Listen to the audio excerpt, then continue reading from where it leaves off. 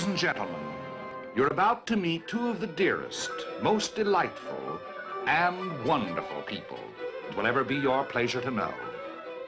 The White Sister, Angela, and her lone companion, Corporal Allison, U.S. Marines, marooned together behind enemy lines on a South Pacific island.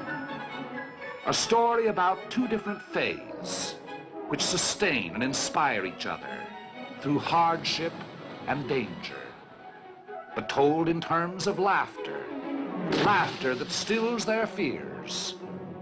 A tender human story about two people who have great need of each other. I was drunk and uh, you got scared of me and ran away from me in the rain. I wasn't running from you. You wouldn't have done me any harm, I knew that. I was running from the truth.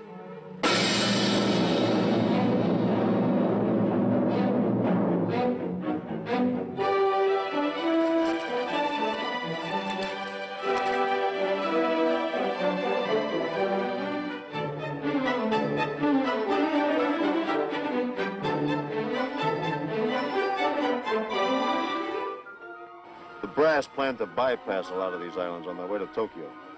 At least that's the scuttlebutt. Scuttle what? Scuttlebutt, you know, the poop. Poop. Like, um, guys beating their gums, you know, giving out with the rumors. Oh, yes, rumors, of course.